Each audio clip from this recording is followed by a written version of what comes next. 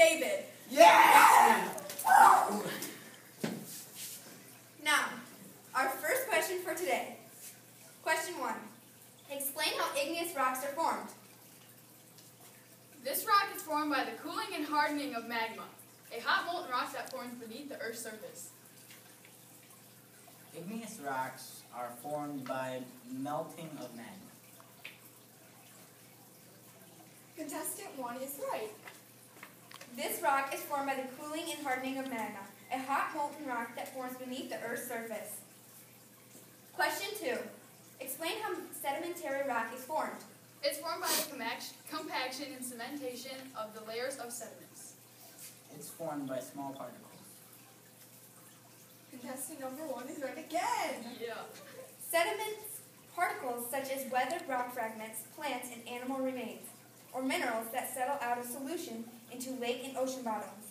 The compaction and cementing of the layers of sediments form sedimentary rock. Question three. Explain how metamorphic rocks are formed. It's formed by the heat and moisture called metamorphic. It's formed by the heat and, the heat and pressure, which is called metamorphism. Number two, or contestant number two is right. Yes! Metamorphism, the process, process by which a rock structure or composition is changed by pressure, heat, and moisture.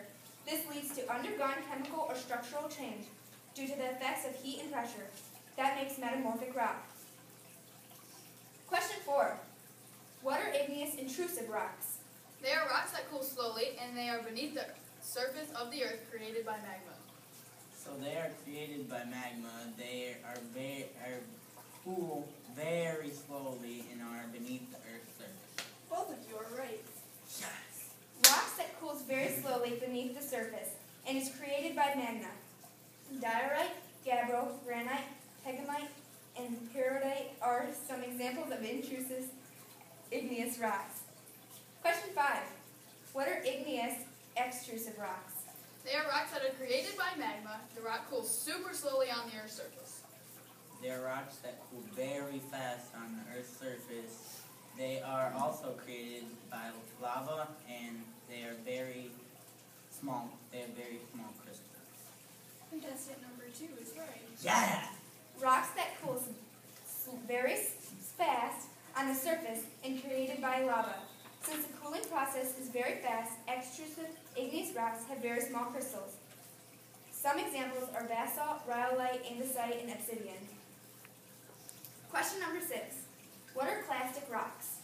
They are rocks formed by chemical weathering, weathering made with small grains of rock. They are rocks formed by um, physical weathering. They made with large pebbles of rock. Both of you are wrong. Rocks that are composed of fragments or clasts of pre-existing minerals and rocks. A clast is a fragment of geological detritus chunks and smaller grains of rocks by physical weathering. Breccia, conglomerate, sandstone, siltstone, and shale. This is a sedimentary rock type.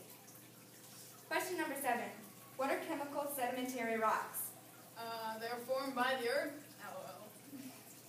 They are formed by weathering, and one example is diomite. They form by the precipitation of minerals from water. Some may be limestone or dolomite. Contestant number two is right. Question number eight. What is an organic sedimentary rock?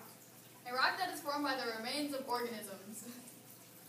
Coal, oil, shale are examples, but it's a rock that's formed by the remains of organisms. Both of you are right.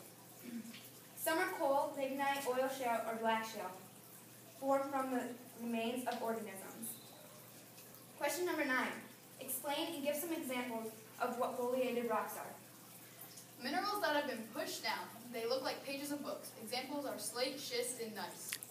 Uh, um, I'm sorry, I don't know this question. Um, contestant number one is right. In foliated rocks, the minerals have been flattened and pushed into layers that you can see. Sometimes these bands look like the pages of a book. Three common foliated rocks are slate, schist, and gneiss. Question number 10. Explain and give examples of what non-foliated rocks are. They are formed around igneous ex- extrusive rocks. Examples, marble. They are formed around igneous intrusive rocks. Example marble. two is right. They are formed around igneous intrusions where the temperatures are high but the pressures are relatively low and equal in all directions. Some non-foliated rocks are hornfels, marble, quartzite, and no- nocabolite do not have a layered or banded appearance. Alright, so the points right now are contestant number two is winning right now, and contestant number one is behind by one point, so we're gonna do an extra point round. The rock cycle. You have to give us um, a diagram of what you think the rock cycle looks like. So draw, you have 30 seconds.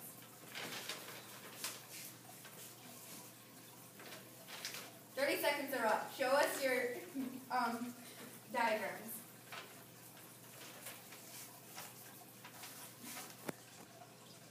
Rock, rock cycle.